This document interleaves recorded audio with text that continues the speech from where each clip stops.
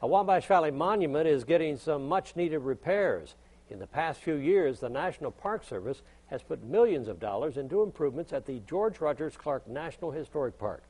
But as News 10's Mike Grant explains, a recent problem has officials pushing for another big upgrade. Crews are still working to finish a long planned project to upgrade an old wall along the Wabash River at the George Rogers Clark National Historic Park. It's a project the park had already planned. But for the last several weeks, another project's been underway on an emergency basis to replace an electrical line that blew out here. That, that primary line controls everything. It powers all the street lamps here throughout the core part of the national park, Patrick Henry Square, the, the uh, western part of downtown, as well as the lights over the bridge and the memorial. So the past four, four and a half weeks have been very dark.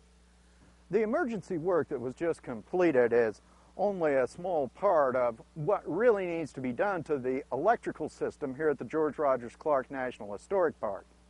And officials say that there are plans in the works for some big improvements.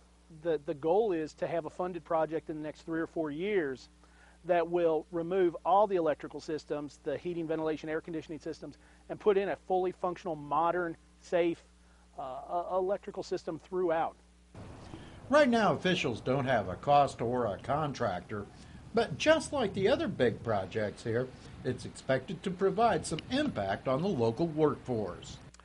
I think everything that occurs within a national park in some way has an effect on the local economy. And improving the power system here should be no exception.